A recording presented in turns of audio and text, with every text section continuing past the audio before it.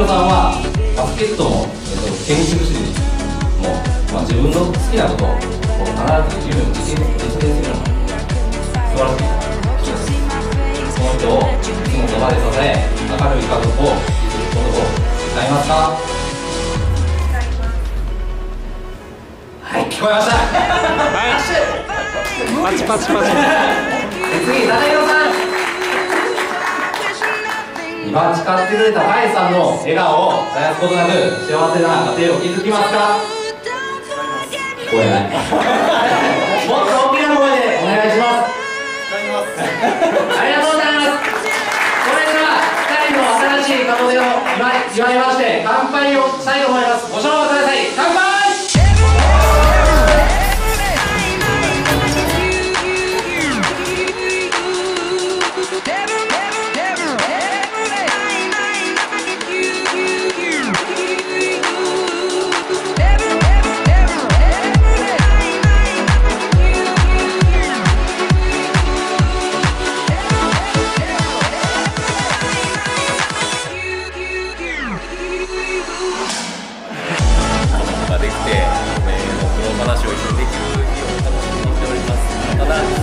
ポーズの言葉何やったんですか撮 りながら。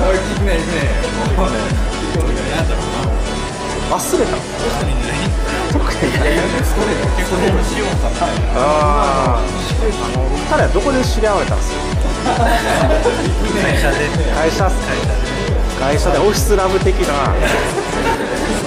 みんな帰ったオフィスで「てんてんてん」みたいな感じですか？な。るほど。感じペペペでしようみたいなね。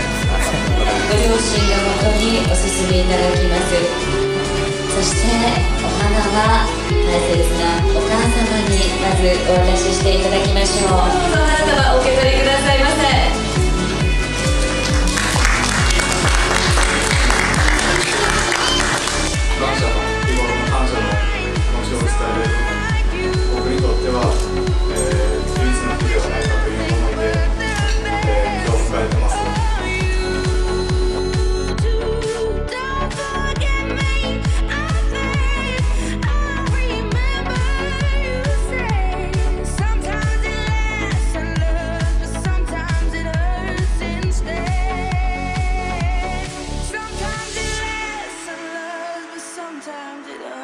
and stays. 別にブーケで持って帰るわけじゃないねんちゃうの？うんちゃうよ。こうだね。白ブロッコリーで持って帰って 壁に段に入れて、区画をしっかりで起立して、で、最近徹底的になんかやってるからねあ失敗しても今よりあったかいやろ。まあそれはそうほんで、蓄熱蓄暖の電源だけは取っといて、環境が違いすぎる。でやってみる。今頃戦争の話これはちょっと楽しみにしてる。やろ？それは、えー、と太陽光うちらこっちはないの。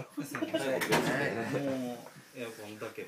自衛隊におったらおじいちゃんが人の殺し殺し殺されるから太陽光の発電軽量で行くね考えた方がいい